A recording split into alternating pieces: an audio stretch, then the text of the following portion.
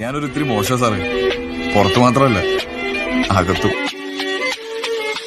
ആ ah, shit.